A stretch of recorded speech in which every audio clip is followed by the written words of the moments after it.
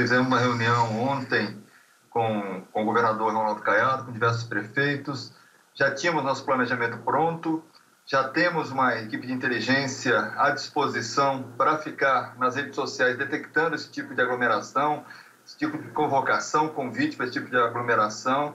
E estamos hoje em campo, desde cedo, tentando primeiro conscientizar, mas se houver aglomeração, nós temos que agir e vamos agir. Pois é, secretária, até isso que eu queria te perguntar. O, o, governador chegou a dizer, né, numa dessas coletivas, que quem organiza esse tipo de festa merece ser preso e realmente, né, provocando ali a questão da aglomeração. O que, que muda daquilo que já estava sendo feito? Porque a gente já via a polícia, o pessoal da guarda, trabalhando de uma forma muito incisiva para combater esse tipo de aglomeração, de eventos, de festas. O que, que muda agora com essa operação? Bem, nós estamos numa época atípica, né? São quatro dias de feriado, três a quatro dias de feriado, em que muitas pessoas resolvem fazer deslocamentos, principalmente para nossos pontos turísticos, que são vários. Então, nós reforçamos esses pontos turísticos, colocamos a mais efetivo, colocamos todo o nosso efetivo do administrativo nas ruas para reforçar esses pontos, para reforçar também a região metropolitana, a região do entorno, local onde tem muito fluxo de pessoas. E estamos com a equipe de inteligência mapeando possíveis aglomerações e vamos coibir essas aglomerações, apoiando, logicamente, as fiscais das prefeituras e as guardas municipais. Nós temos que botar, mas isso tudo, isso tudo não adianta se a gente não contar com a compreensão e principalmente com a consciência dos no, da nossa população, tá? que evitem aglomeração. É, passamos um, um, um mês agora crítico, terrível, que foi principalmente por consequência de aglomerações, tanto no, na virada de ano, quanto em janeiro, que é época de férias, que as pessoas usam para viajar, e o carnaval. E viram, é, e essas aglomerações, e essas baladas clandestinas, essas festas, essas confraternizações, nos levaram a ter esses é, dias terríveis de mortes e de contaminação.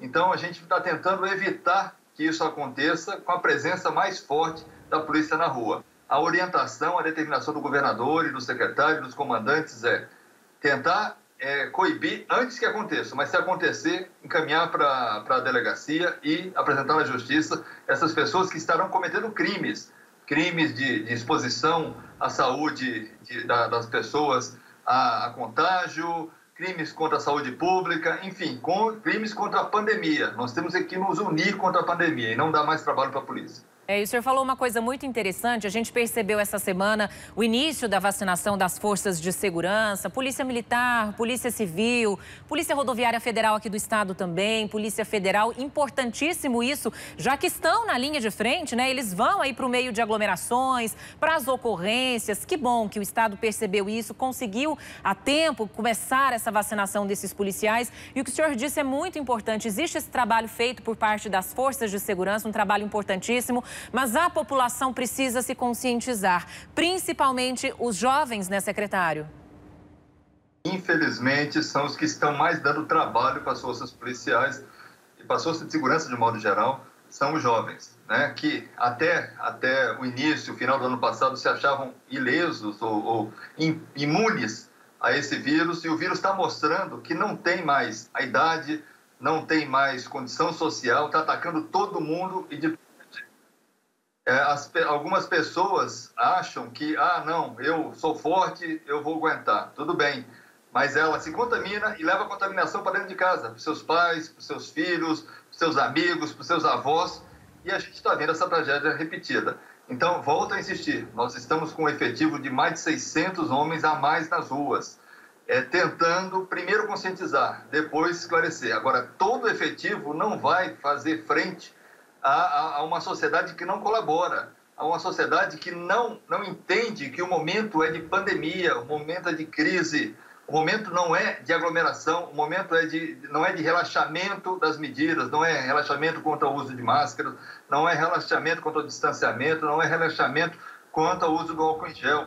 O momento, pelo contrário, é de isolamento. Isso eu falei para os prefeitos ontem, o governador foi muito feliz na fala dele, dizendo que nós estamos é, a poucos, poucos passos da, da, do colapso do sistema de saúde. Nós estamos com 90%, mais de 90%, há quase um mês de ocupação nos leitos de UTI. Então, essas pessoas que insistem, e vocês estão colocando as imagens aqui de, de ação da polícia coibindo, essas pessoas que insistem nesse tipo de aglomeração, a, a, depois vêm ocupar ou fazer outras pessoas ocuparem os leitos de UTI em detrimento àquelas que estão tomando os cuidados, como os policiais, que tomam cuidado, mas não podem sair da linha de frente, não podem sair das ruas.